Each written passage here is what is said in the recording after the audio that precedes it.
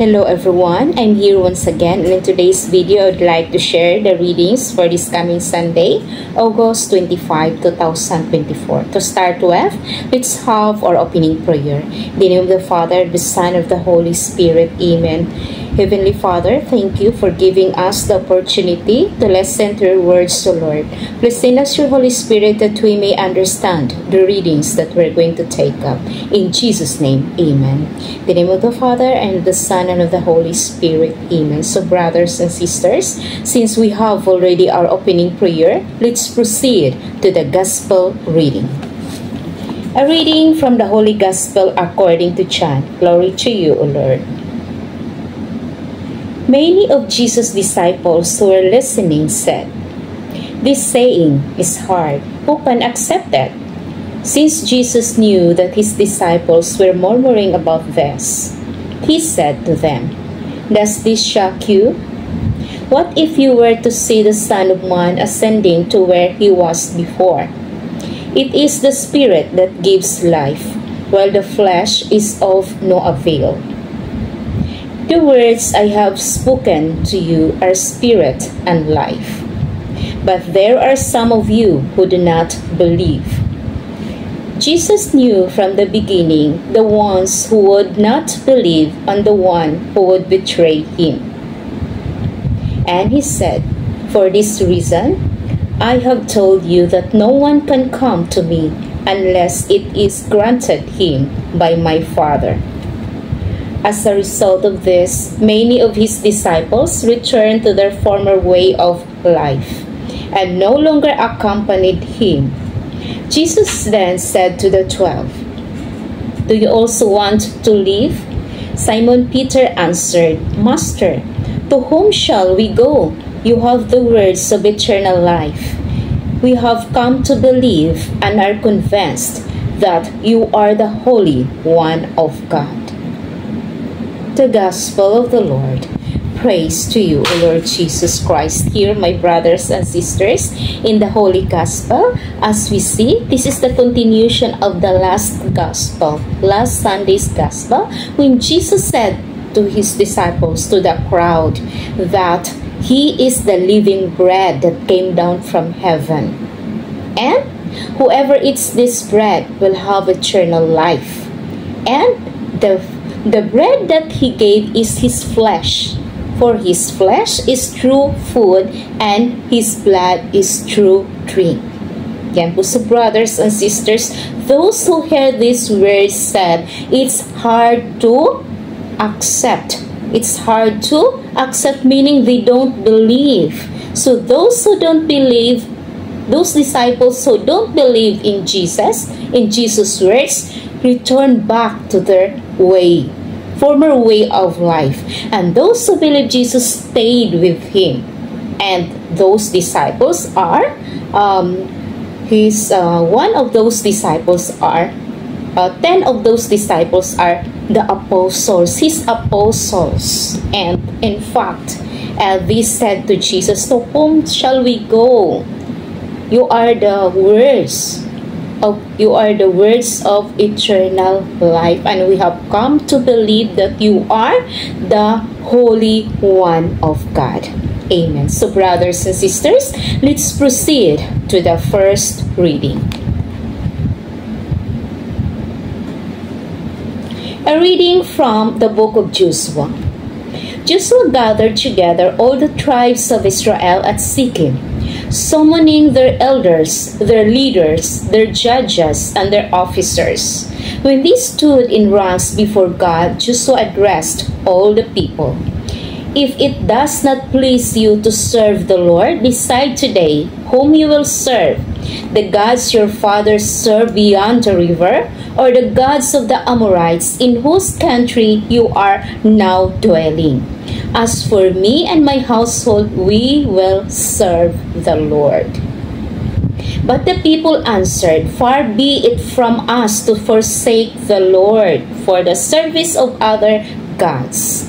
For it was the Lord our God who brought us and our fathers up out of the land of Egypt, out of a state of slavery. He performed those great miracles before our very eyes and protected us from our protected us along our entire journey and among the peoples through whom we passed. Therefore, we also will serve the Lord, for he is our God. The word of the Lord. Thanks be to God. Here, my brothers and sisters, we can see here, we can we heard here in this first reading that as Joshua as Joshua summoned all the summon the summon the seven tribes to get summon the, the tribes of Israel in Shechem, summoning their leaders, their their elders and their judges and their officers. And he asked them to whom you serve? You serve the, uh, the gods the other gods or the lord? And then Joshua said, As for me and my household, we will serve the Lord. As, as soon as the people heard that, they also said that uh, we also want to serve the Lord. The Lord who brought them out from Egypt, from the land of slavery, and from the very eyes they saw, the signs, the miracles that the Lord God uh, showed to them on that very day when the Lord our God uh, when the Lord our God brought them out from the land of Egypt. So we also want to serve the Lord our God. The Lord our God. Yan po. Amen. So brothers and sisters, let's proceed to the second reading.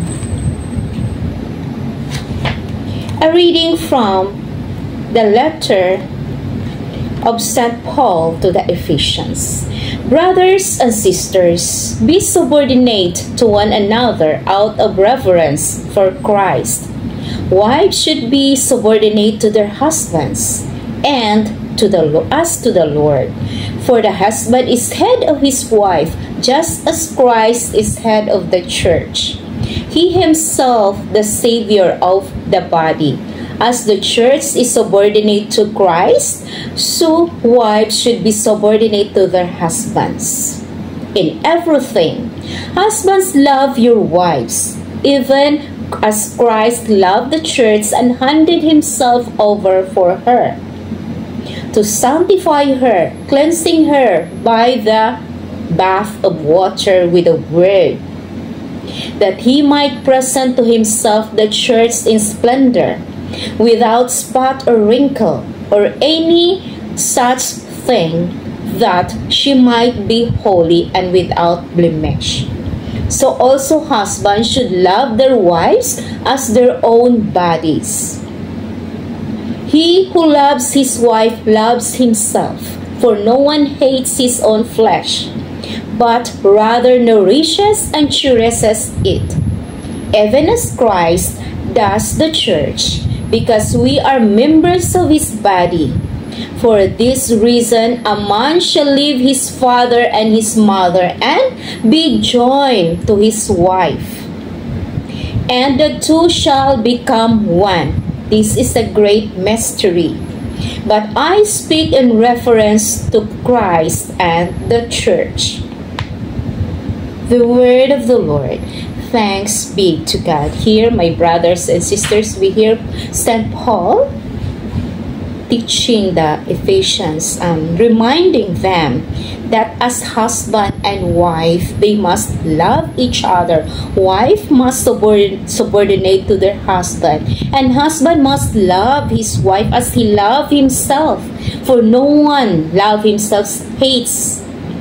For no one hates himself uh, for no one loves himself hates so as he loved himself he must love his wife as christ do as christ loved the church and bathed him with the word so that he might be holy and um, without wrinkles or blemishes or spot.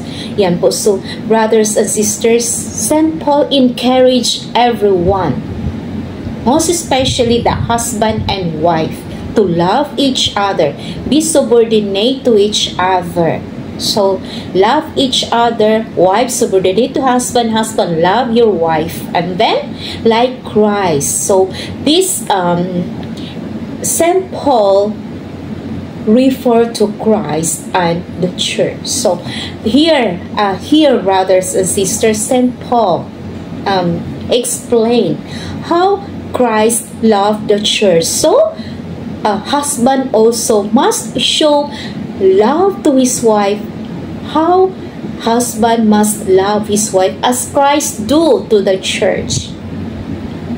Amen. So, um, as a family, so we um, we as a family serve the Lord Jesus Christ, like in the gospel, in the in, in the first reading that in I mean the first reading that Joshua said, as for me, me, as for me and my family, we will serve the Lord.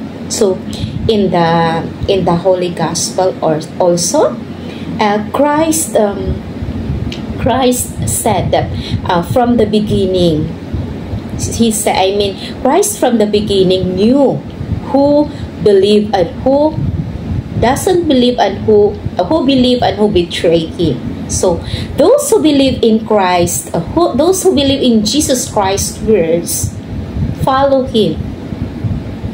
Never leave Him. Serve Him.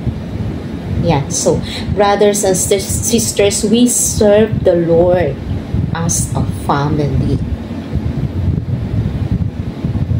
So, brothers and sisters, thank you very much and I hope that um, may nakukuha po kayong aral na maidagdag po ninyo sa yung pagdalo sa Mass for this coming Sunday, August 25.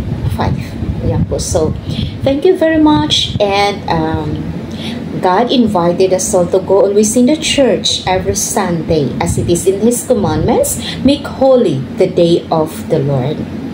Thank you very much and God bless us all.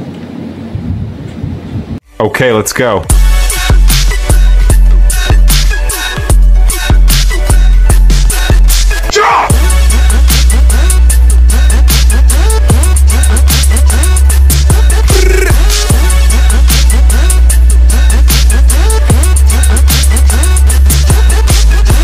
Okay, let's go.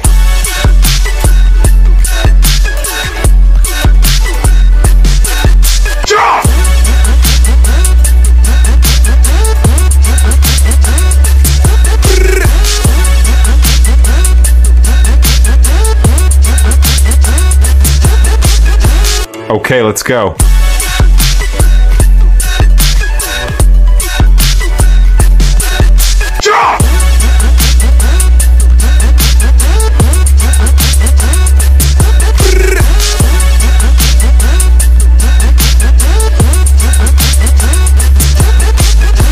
Okay, let's go.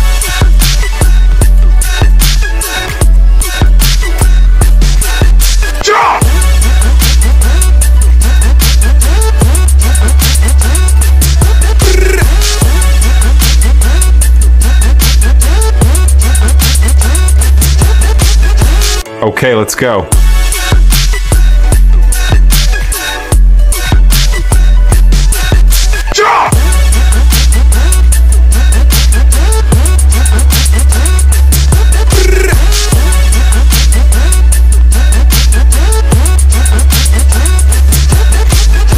Okay, let's go.